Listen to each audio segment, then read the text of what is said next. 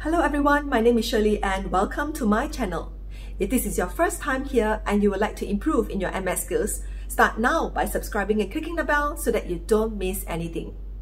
In today's video, I'm going to teach you how to score A plus in your additional mathematics in SPM examination.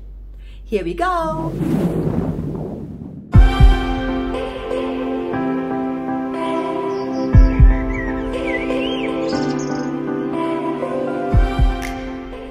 There are four simple steps that you can follow if you want to get A plus in additional mathematics. Step number one is to master the concept.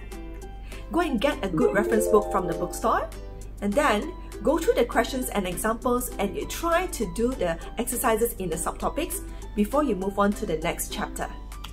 Don't just read and memorize the working. Understanding is the most important. If you have any problem with the questions in the book, refer to your school teacher or your tuition teacher or your friends who are pro in Addmaths or maybe your siblings who have gone through SPM. I'm pretty sure that they'll be able to help you. Step number two would be memorize the formulas. Formula is the key to solve the question. Even though the formulas will be provided in examination, you need to know how to use it. So if the formulas are inside your head, you'll be able to answer the questions with no hassle. So how to memorize formulas?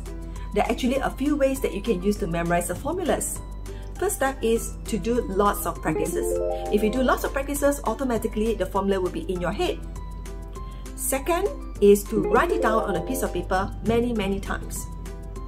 Third is to say it out loud many, many times, especially before you go to sleep. And fourth write it down on a sticky note and then you stick it on the places where you normally go to especially in front of the mirror or maybe on the toilet mirror. While you're brushing your teeth you can look at it and then automatically the formula will go into your head.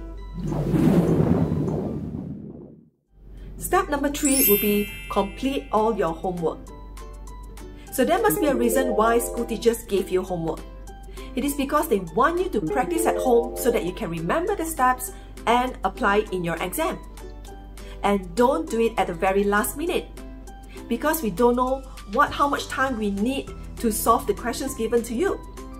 So it's best that once you get the homework questions, you do it on the same day. Then you don't have to worry anymore about your homework.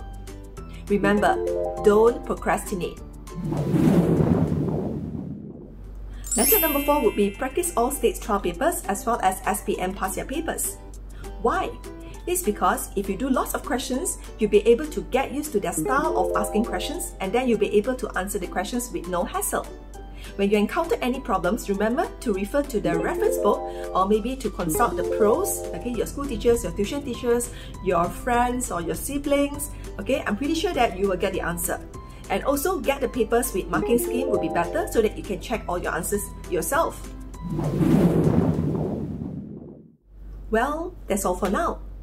I wish all the best of luck to all the candidates who will be sitting for the SPM this year and I hope you guys will keep on practicing, keep on learning and keep on watching my videos and I hope to see you guys in my next videos. Bye guys!